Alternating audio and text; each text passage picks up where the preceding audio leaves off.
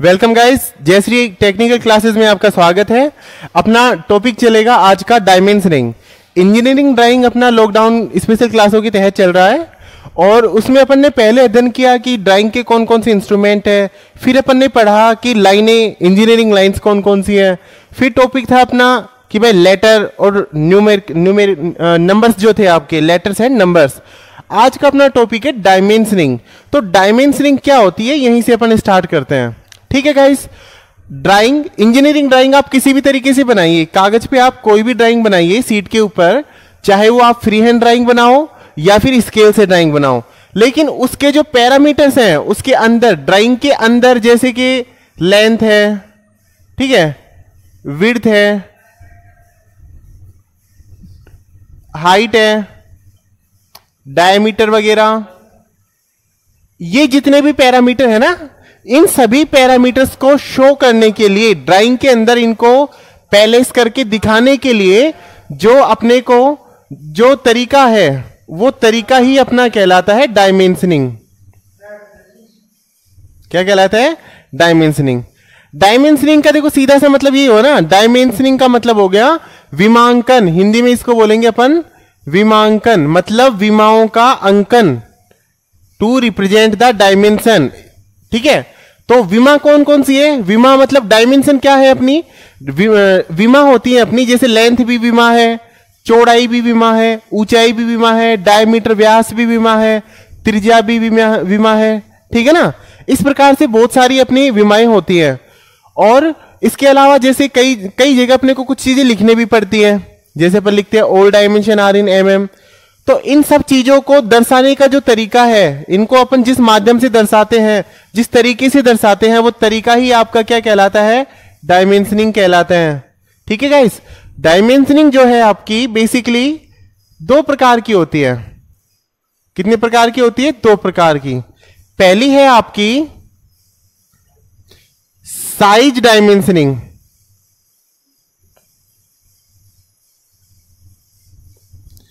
ठीक है? और दूसरी है आपकी लोकेशन डायमेंशनिंग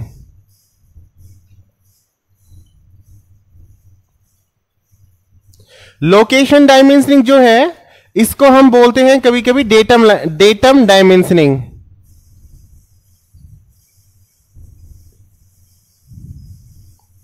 और जो साइज़ डायमेंशनिंग है, इसी का दूसरा नाम है फंक्शनल डायमेंशनिंग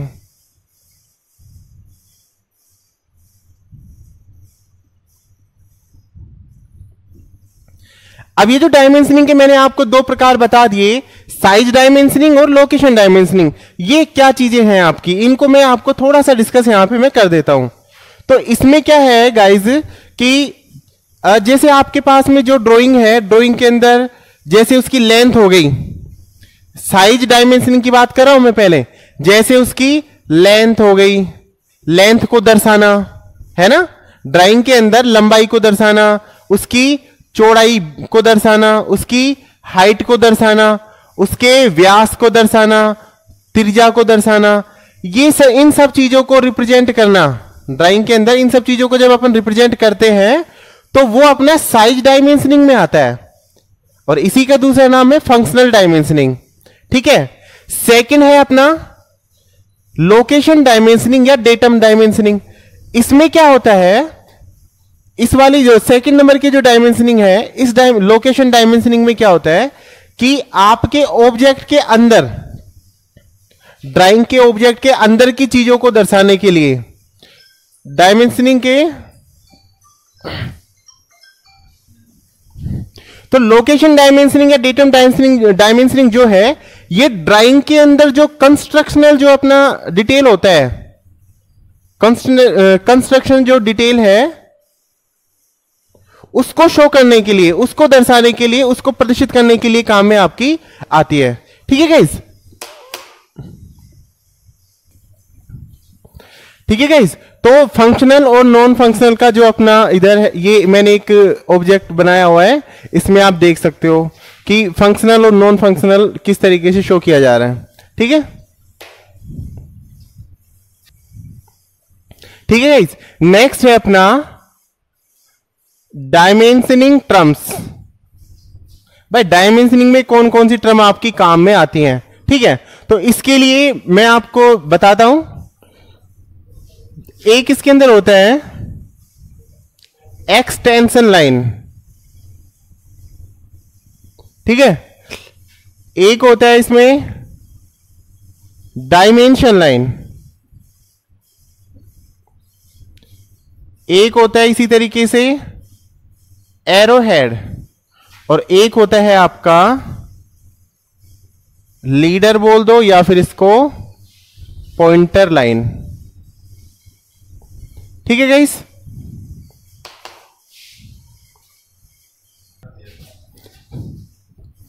तो डायमेंशन टर्म्स के अंदर बेसिकली चार ही आती हैं. Extension line dimension line arrow head और लीडर या पॉइंटर लाइन ठीक है? यहाँ पे एक फिगर बनाया हुआ है. इस फिगर के माध्यम से मैं आपको ये अच्छे से समझा पाता हूँ, समझा पाऊँगा, ठीक है? तो देखिए आप। ये मेरे पास में एक ऑब्जेक्ट है, ठीक? इस ऑब्जेक्ट की यहाँ से लेकर के यहाँ तक की कुछ ना कुछ लंबाई है, मान लियो मान लो कि लंबाई एल है, ठीक है? यहाँ पर इसकी जो चौड़ाई है वो बी है और यहाँ वाली जो हाइट है सॉरी ये हाइट और ये हाइट सी है, ठीक? इसमें एक होल दिया गया है और होल जो है होल का डायमीटर है आपका कितना? 10 एम mm होल का डायमीटर कितना है? 10 एम mm ठीक है गाइस तो अब जैसे कि यहाँ से यहाँ तक की जो लंबाई थी, इस लंबाई को दर्शाने के लिए मैंने क्या किया हुआ है? यहाँ पे ये लाइन खींची है ना इस तरीके से। ठीक है? तो अब देखिए, मैं इसको आपको एक अलग से बताता हूँ। सबसे पहली चीज़ आ रही है कि भाई एक्सटेंशन लाइन क्या चीज़ है? तो एक्सटेंशन लाइन क्या चीज़ है वो मैं आपको बताता हूँ यहाँ पे। जैसे मान लो ये मेरे पास में एक रेक्टेंगल है, एक आयताकार कोई भी एक ऑब्जेक्ट है, और मैं चाहता हूँ कि इस ऑब्जेक्ट की यहाँ से यहाँ तक की जो भी लंबाई है, जितनी भी एम एम सेंटीमीटर जो भी है, मैं वो शो करूँ, दर्शाऊं। और उसको दर्शाना ही तो डायमेंशनिंग है।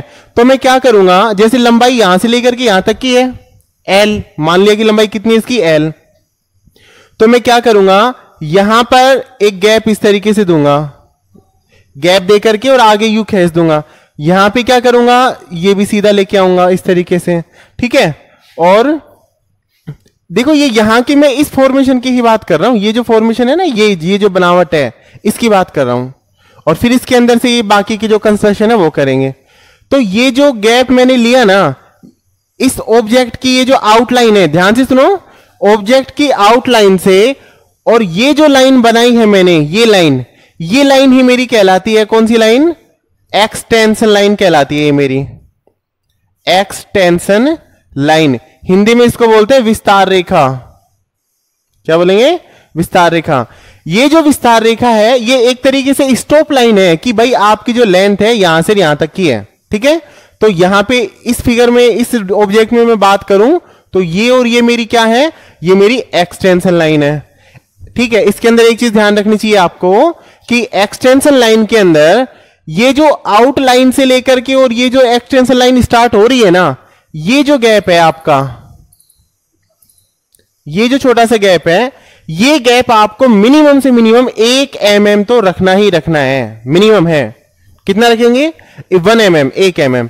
और ये जो एक्सटेंशन लाइन जो है इस एक्सटेंशन लाइन की जो लेंथ है आपकी ये वाली लेंथ ये आप ले लीजिए कितनी अप्रोक्सीमेट में? तीन एम mm तक ले लीजिए आप इसको। ठीक है? तो ये है आपकी एक्सटेंशन लाइन एक्सटेंशन लाइन क्या है? इसका जो लेंथ विड्थ एनीथिंग कोई भी जो विमा है, उसको शो करने के लिए जो दो स्टॉप लाइंस बनाई जाती हैं, वही है आपकी एक्सटेंशन लाइन ठीक है? तो यहाँ पे देखो, ये भी एक्सटेंशन लाइन है, ये भी एक्सटेंशन लाइन ये भी एक्सटेंशन लाइन ये भी एक्सटेंशन लाइन और ये भी एक्सटेंशन लाइन तो गाइज़ आप समझ गए होंगे कि एक्सटेंशन लाइन क्या है। फिर उसके बाद में अपना सेकंड है dimension line dimension line dimension line पे सीधी सी बात ये है कि ये यहाँ से यहाँ तक ये जो लंबाई एल है ना, ये लंबाई एल आपने जहाँ पे लिखी हुई है, जिस रेखा के ऊपर लिखी हुई है, वो रेखा ही आपकी क्या है? डायमेंशन लाइन है। मतलब मतलब ये हुआ इसका कि अगर ये आपके पास में ऑब्जेक्ट था तो इस ऑब्जेक्ट में ये पहले तो आपने खींच ली दो एक्सटेंशन लाइन और एक्सटेंशन लाइन खींचने के बाद में इस ऑब्जेक्ट की ये जो आउटलाइन है ना, इस आउटलाइन के बिल्कुल समांतर इस तरीके से। ये जो रेखा आपने जो खींची, ये रेखा ही आपकी क्या है? ये है आपकी डायमेंशन लाइन इसे हिंदी में बोलते हैं विमा रेखा। क्या बोलेंगे? विमा रेखा। ये आपकी विमा रेखा है। तो यहाँ पे विमा रेखा कौन सी है आपकी? विमा रेखा आपकी ये वाली है। ठीक है? तो ये वाली जो है, ये मेरी स्टॉप स्टॉप लाइन या एक्सटेंशन लाइन थी। ये जो खींची हुई है, ये मेरी क्या है? ये ये वाली, ये क्या है मेरी? ये मेरी डायमेंशन लाइन्स है। ठीक है? तो ये मेरी इस तरीके से होती है, मेरी डायमेंशन लाइन ये डायमेंशन लाइन और जो एक्सटेंशन लाइन है, ये और ये पॉइंटर लाइन भी, ये सारी की सारी जो है, ये हल्की पेंसिल से बनाई जाती हैं। ठीक है? हल्की पेंसिल से। तो इसके बाद में फिर नेक्स्ट है अपना एरो हेड लाइन अगला है आपका एरो हेड लाइन तो एरो हेड लाइन नहीं है एरो हेड ही है केवल, ये लाइन नहीं है यहाँ पे. तो एरो हेड क्या चीज़ है आपका? ये देखिए यहाँ पे ये जो ये जो तीर के निशान एरो हेड तीर सीड्स जो है आपके, इन्हीं को एरो हेड कहते हैं. एरो हेड की खासियत होती है. एरो हेड की खासियत क्या है? वो देखिए आप. ये इस तरीके से है जैसे मान लो. ठीक है? ये है एरो हेड आपके। एरो हेड को यू फिल किया जाता है। इस तरीके से इसको पूरे को फिल कर दिया जाता है, भर दिया जाता है शाही से, या पेंसिल से इस तरीके से भर दिया जाता है। ये एरो हेड है। ठीक है? ये आपके क्या है? एरो हेड है। एरो हेड जो है आपके, ये एरो हेड की क्या है आपकी? ये है आपकी एरो हेड की लंबाई। और ये ये एरो हेड के लिए क्या है? ये एरो हेड की है आपकी चौड़ाई बी ठीक है? तो एरो हेड की लंबाई और चौड़ाई इंपोर्टेंट चीज़ है एरो हेड की लंबाई और चौड़ाई में एक फिक्स अनुपात होता है और वो होता है आपका तीन अनुपात एक। स्टार मान लीजिए इस चीज़ को। कितना होता है? तीन अनुपात एक। ये एरो हेड की जो अनुपात है ये होता है तीन अनुपात एक। ठीक है गाइस अच्छा जी। नेक्स्ट है आपका फोर्थ नंबर पे जो आपकी टर्म है वो है लीडर लाइन या पॉइंटर लाइन लीडर लाइन या पॉइंटर लाइन क्या है? ये स्पेशली जैसे मान लो अब यहाँ पे मैं आपको फिगर में ही समझाता हूँ इसमें ऑब्जेक्ट के अंदर। ये एक सर्किल है। इस सर्किल का डायमीटर कितना है? टेन एम mm, ठीक है ना? तो टेन एम mm डायमीटर में यहाँ पे तो मैंने लिखा नहीं है ना? ये मैंने क्या किया? ये जिसका डायमीटर शो करने के लिए मैंने ये यहाँ से एक एरो हेड लगा करके और ऊपर की तरफ़ यू लेके गया और फिर इधर की तरफ़ लेके आया हूँ। और यहाँ पे फिर मैंने इसकी डायमेंशन जो भी थी, नाप, माप जो भी थी, वो मैंने यहाँ पे लिखी है। ठीक है ना? तो ये यहाँ से लेकर के यहाँ तक ये जो लाइन है ना, ये लाइन ठीक है? ये लाइन ये आपकी क्या है? लीडर लाइन है। लीडर लाइन बोल दो या फिर इसको क्या बोलते दूसरा नाम क्या इसका? पॉइंटर लाइन ठीक है ना गाइज़ तो ये चार इंपॉर्टेंट टर्म्स थी डायमेंशनिंग के अंदर। आप लोग समझ गए होंगे ठीक से? ठीक है? इसके अंदर मैं आपको एक एक खास बात और बता देता हूँ कि जैसे ये आपकी एक्सटेंशन लाइन है, यहाँ पे आपको बनाना है एरो हेड ठीक है? फिर एरो हेड को फिल भी करना होता है इस तरीके से। यहाँ पे ये चीज़ ध्यान रखना, ये बिल्कुल यहाँ पे इसका जो पॉइंट है वो टच ही होना चाहिए। है ना? ये एकदम एक्यूरेट पोजिशन है। अगर आपने यू कर दिया ना, इसके थोड़ा सा आगे की तरफ़ भेज दिया यूँ तो ये फिर गलत तरीका है। और अगर इससे थोड़ा सा पीछे रख लिया, पीछे रख लिया तो भी गलत तरीका है। राइट right तरीका क्या है? This one is the right way okay guys ठीक है। अब नेक्स्ट चीज़ है आपकी कि डायमेंशंस को पैलेस करना। पैलेस करना मतलब उनको लिखना। ठीक है ना? तो डायमेंशन डायमेंशन पैलेसिंग की जो है आपके पास में दो विधियाँ हैं। कितनी विधियाँ हैं? टू सिस्टम्स हैं। और वो टू सिस्टम्स कौन कौन से हैं आपके? मैं लिख देता हूँ यहाँ पे। पहला आपके पास में सिस्टम है अलाइन सिस्टम अलाइन सिस्टम और सेकंड आपका सिस्टम है यूनी डायरेक्शनल सिस्टम ठीक है? अलाइन सिस्टम को हम हिंदी में बोलते हैं, संरेखीय पद्धति। संरेखीय पद्धति। ठीक है? और यूनिडायरेक्शनल सिस्टम को हम बोलते हैं एक दिशीय पद्धति। गाइस आप लोग ना ये विशेष रूप से ये बात ध्यान रखना। इंजीनियरिंग ड्राइंग का जो पेपर है आपका सेमेस्टर में ईयरली में, वो पूरा का पूरा इंग्लिश में आता है। और इंजीनियरिंग इंजीनियरिंग जो है, चाहे आप आईटीआई करो बीटेक करो पॉलिटेक्निक करो, कुछ भी करो उसमें क्या है, जब आप इंडस्ट्री में जाओगे ना, वहाँ पे आपको जो पूरा जो मैटर मिलेगा ज़्यादातर, वो आपको इंग्लिश लैंग्वेज में ही मिलता है। लेकिन वो इंग्लिश ऐसा नहीं है कि आप उसको देख करके भाई, जैसे काफ़ी सारे लोग हैं, ग्रामीण क्षेत्रों से संबंध रखते हैं तो वो क्या नॉर्मल बोलचाल की भाषा में आपके आ जाता है, ठीक है? तो इंग्लिश से किसी प्रकार का हवा मत रखिए, है ना? इंग्लिश को आप इजी वे में लीजिए। तो अलाइन सिस्टम और यूनिडायरेक्शनल सिस्टम है आपके। अब मैं आपको ये दोनों ही सिस्टम्स बता देता हूँ।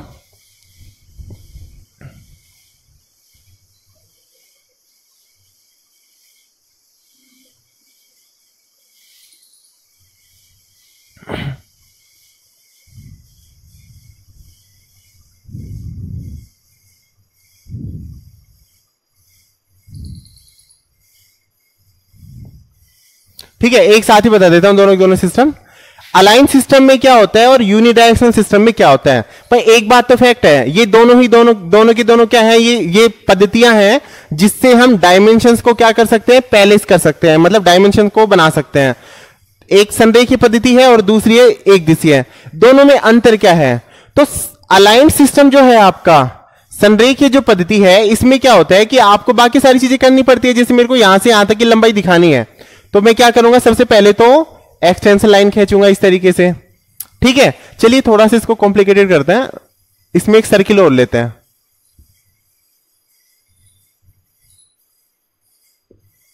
ठीक है? तो सर्किल लिया है तो सेंटर लाइन भी लेनी पड़ेगी मेरे को। ठीक है गाइस तो अब मैं क्या कर रहा हूँ? मैं इस पूरे का डायमेंशनिंग पहले कर रहा हूँ। मतलब पूरे की डायमेंशनिंग लिख रहा हूँ मैं इसके अंदर। तो सबसे पहले तो मैं इसको सेंटर ही कर लेता हूँ। जैसे मान लिया कि सेंटर यहाँ से यहाँ तक का सेंटर का जो ये लेंथ है, ये लेंथ मैंने मान लिया कितनी? मैंने मान लिया ये है आपकी 20 एम mm. कितनी एम mm है? 20 एम mm है। तो 20 एम mm है मेरे पास में तो मैं क्या करूँगा? यहाँ से और यहाँ तक है ना 20 एम mm? यहाँ से यहाँ तक ये वाली। तो यहाँ पे लेके आऊँगा एक एक्सटेंशन लाइन खींचूँगा। इधर से एक एक्सटेंशन लाइन लेके आऊँगा। और फिर इसके अंदर क्या बनाऊँगा? डायमेंशन लाइन डायमेंशन लाइन बनाने के बाद में क्या बनाऊँगा? एरो हेड और यहाँ पे मैं लिख दूँगा कितना? कितना लिया अपन ने? 20 है ना? तो 20 लिख दिया मैंने. ठीक है? गाइज़ इससे पहले मैं आपको एक चीज़ और बता देता हूँ, छोटी सी चीज़ है। वो ये है कि डायमेंशनिंग जो है ना ड्राइंग इंजीनियरिंग ड्राइंग के अंदर जब अपन डायमेंशनिंग करते हैं तो उसमें अपना जो मेन जो रहता है, भाई देखो डायमेंशन आप नाप तो किसी भी चीज़ में सकते हो। मीटर, किलोमीटर, सेंटीमीटर, मिलीमीटर, किसी में भी नाप सकते हो ना। लेकिन इंजीनियरिंग ड्राइंग के अंदर आपको जो माप लेनी है, जब तक अलग से मेंशन ना किया जाए कि भाई स्पेशली ये करो, तब तक आप मापों को लीजिए किसमें? एम mm में मिलीमीटर के अंदर। ठीक है ना? मिलीमीटर में आप मापों को लिया करो। और इसी के लिए क्या करते हैं, जब अपन ड्राइंग की सीट बनाएँगे तो ड्राइंग की सीट में सीट के राइट डाउन की तरफ़, जैसे ये सीट है ना तो इसमें यहाँ की तरफ़ मैं एक लाइन लिख देता हूँ। ये सभी सीट में लिखनी पड़ती है अपने को। All dimensions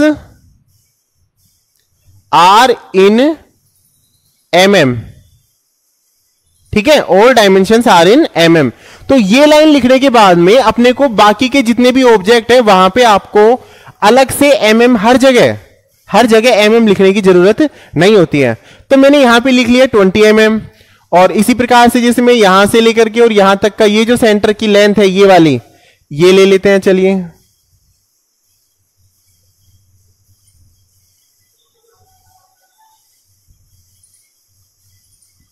ये मैंने ले ली कितनी? मान लो ये मैंने ले ली कितनी? तीस ले ली थर्टी ठीक है? और यहाँ से यहाँ तक की जो है ये मैं ये मैंने जो लेंथ है ये मैंने लेंथ ले ली ये एक्सटेंशन लाइन इधर लेके आया यहाँ की सीध में इधर लेके आया और ये सपोज़ करो मैंने ले ली कितनी? टेन एम mm, ठीक है? और ये कंप्लीटली जो है कंप्लीट यहाँ से लेके यहाँ तक जो है आपकी ये सपोज़ करो आपके पास में है कितनी? Fifty M M. Okay guys और इसी प्रकार से जैसे ये थर्टी एम mm है इसके बाद में थर्टी एम के बाद में यहाँ से यहाँ तक का ये जो ब्लॉक है, ये ब्लॉक मेरे मान लो कितने का है? ये तीस का है तो ये भी आप तीस का ही मान लीजिए।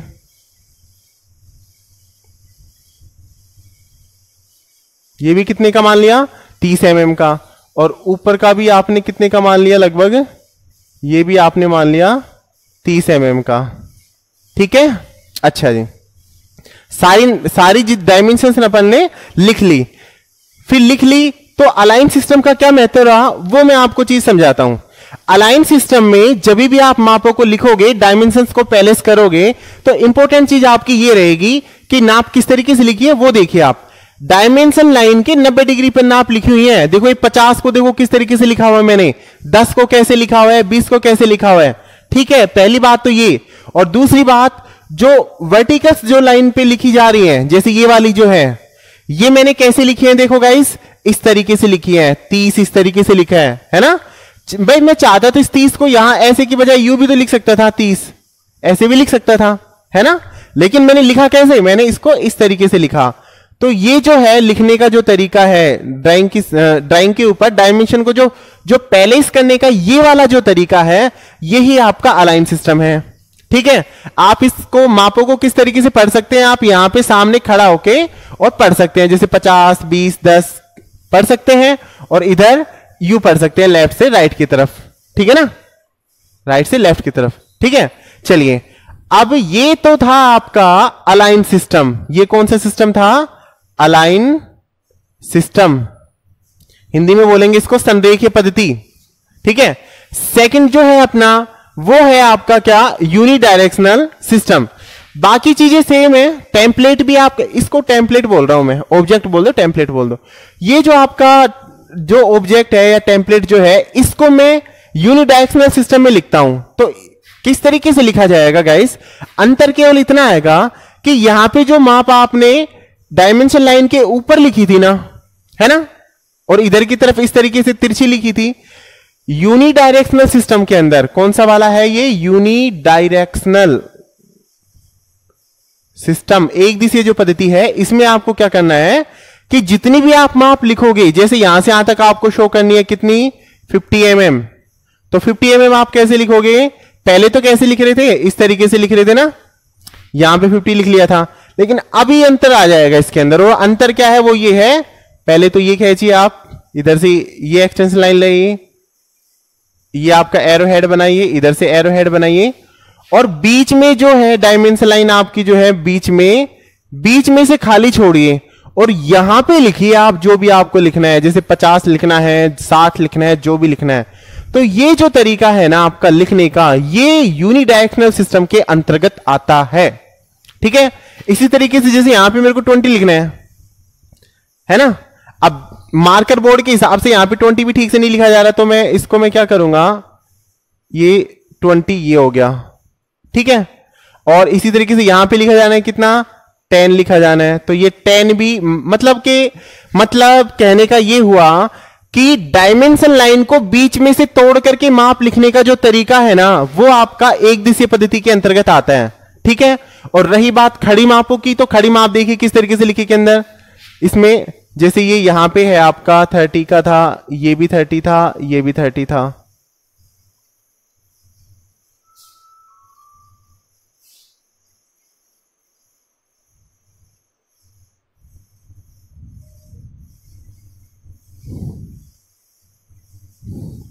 देखिएगा ये एरो हेड बनाए हैं मैंने।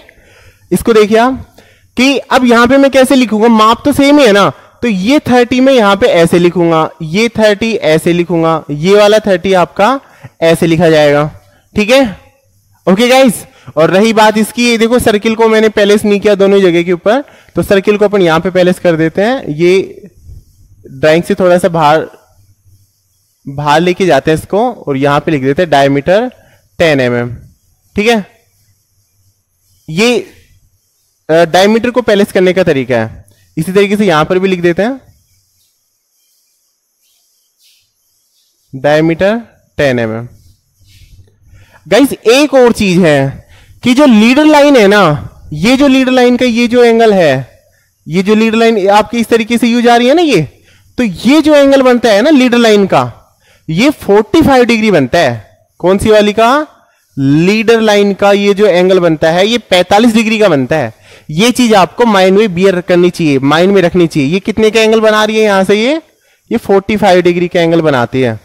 ठीक है ना गाइस तो ये डायमेंशनिंग पैलेस करने के आपके दो तरीके थे अलाइन सिस्टम और यूनिडायरेक्शनल सिस्टम ठीक है? गाइस नेक्स्ट है आपका अरेंजमेंट ऑफ़ डायमेंशनिंग कि डायमेंशनिंग की जो व्यवस्था है वो किस तरीके से है? तो इसके अंदर मैं आपको केवल मैन मैन ही बता रहा हूँ। जैसे पहला है आपका chain dimensioning. Chain dimensioning. Chain dimensioning में क्या होता है? मैं आपको एक फिगर बना के बता देता हूँ। जैसे मान लो ये मेरे पास में एक ऑब्जेक्ट है, एक फिगर है। ठीक है? तो चैन डायमेंशनिंग में क्या है? जैसा कि इसमें नाम आया, चैन। जो डायमेंशन जो है डायमेंशन लाइन जो है आपकी, वो चैन के रूप में जुड़ती है। चैन के रूप में कैसे जुड़ेंगी? बताता हूँ आपको। जैसे यहाँ से यहाँ तक की जो डायमेंशन है, मान लो ये है दस है, पच्चीस एम एम ठीक है? यहाँ से यहाँ तक की जो डायमेंशन है, ये है मान लो पंद्रह एम एम और ये डायमेंशन है आपकी कितनी? टेन एम एम तो देखिए गाइस ये चैन के रूप में जुड़ गई ना, इसीलिए इसको नाम क्या दिया गया चैन डायमेंशनिंग ठीक है? अच्छा जी। इसी तरीके से एक होती है आपकी पैरेलल डायमेंशनिंग पैरेलल डायमेंशनिंग क्या है? समांतर बोलते हैं इसको समांतर विमांकन। ठीक है समांतर विमांकन में क्या होता है कि जैसे मैं इसी को आपको समांतर के रूप में बता देता हूँ समांतर में क्या होता है कि चलो दोबारा बना देते हैं इसको।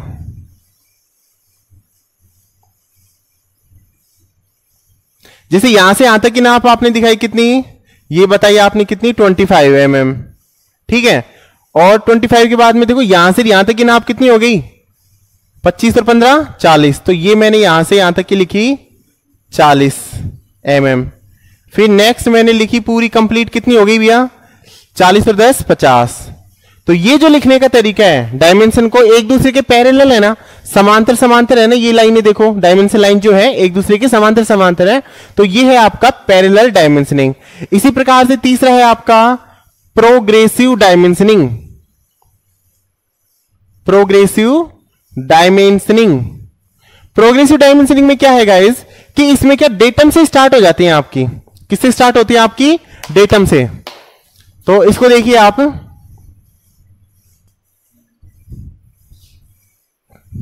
प्रोग्रेसिव डायमेंशनिंग में क्या है? प्रोग्रेस का मतलब क्या होता है? बढ़त करना, बढ़ोतरी करना, किसी भी चीज़ में इंक्रीमेंट करना इंक्रीज करना। प्रोग्रेसिव डायमेंशनिंग में अपने को एक तो लेनी पड़ती है क्या? डेटम लाइन जैसे मैंने ये डेटम लाइन ले ली। उसके बाद में ये यहाँ से यहाँ तक की लेंथ कितनी थी आपकी? देख के बता सकते हो आप। 25 थी। तो मैंने कितनी लिख दी? 25 लिख दी। ठीक है? अब यहाँ, अब जैसे इस सेकंड में यहाँ पे, यहाँ तक का पार था तो ये यहाँ पे ये लिखा। ठीक है? यहाँ से और यहाँ तक कितनी हो गई अब टोटल पच्चीस में कितना जोड़ेंगे अपन? ये कितनी है? देखो, चालीस। तो अब मैंने यहाँ पे कितना लिखा? चालीस। अब नेक्स्ट ठीक है? टोटल कितने की हो गई ये? गाइस ये यहाँ पे थोड़ा सा आई थिंक गलत कर दिया अपन ने। पच्चीस से तीस, चालीस, पचास हो रहा है पूरा। ठीक है? चालीस और दस, पचास। पच्चीस, चालीस और ये हो गया आपका पचास। देखो प्रोग्रेसिव जो डायमेंशनिंग है, इसमें विशेष बात ये है आपकी, ये यहाँ पे ज़ीरो पे स्टार्ट हुआ। यहाँ से यहाँ तक कितनी है? 25 और यहाँ से यहाँ तक कितनी है? 40 यहाँ से यहाँ तक कितनी है? 50 50 यहाँ पे देखो जो तीर के निशान है ना एरो हेड जो है आपके, ये एरो हेड एक तरफ़ ही है। दोनों तरफ़ तो नहीं है ना, बाकियों की तरह? ठीक है? तो ये है आपका प्रोग्रेसिव डायमेंशनिंग और गाइज़ इसी तरीके से इनको कंबाइंड करके भी बना दिया जाता है। जैसे चेन और पैरेलल को मैं एक साथ जोड़ करके बना दूँ तो फिर वो मेरा क्या हो जाएगा? कंबाइंड डायमेंशनिंग हो जाएगा। ठीक है? बाकी जो मेन है आपकी मेन यही है। ठीक है गाइस थैंक यू गाइस अगर आपको वीडियो अच्छा लगे तो वीडियो को लाइक करें, वीडियो को कमेंट करें चैनल को सब्सक्राइब करें और साथ ही साथ बेल बटन को दबाना ना भूलें। Thank you